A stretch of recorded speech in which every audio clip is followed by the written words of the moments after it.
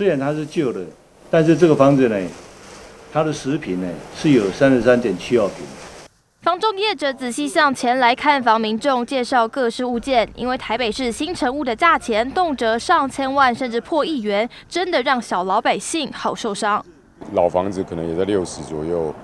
那新房子不用讲，就是一百九九十到一百二在这区嘛。那当然老房我们之前有考虑，就是找一些老房老房子，你可能它公数比低嘛，像你刚才讲的，我三十平也许就只要一千八百万。一千五上下这样子，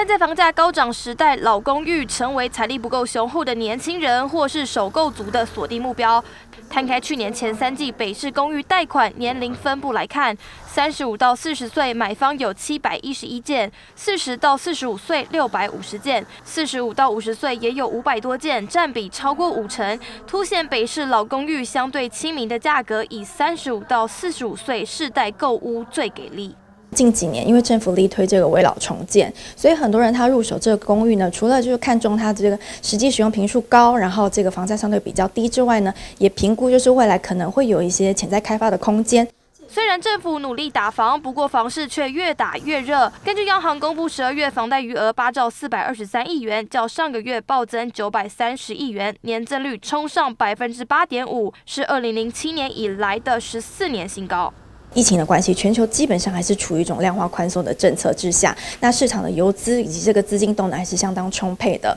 那在这个条件之下呢，这个金钱不论是投往股市，那再来就是不动产。官方要打房降热度，但是民间却越买越凶，房价越飙越高。台湾房市何时能降温？恐怕谁也没有答案。欢迎新闻简玉零零外语台报道。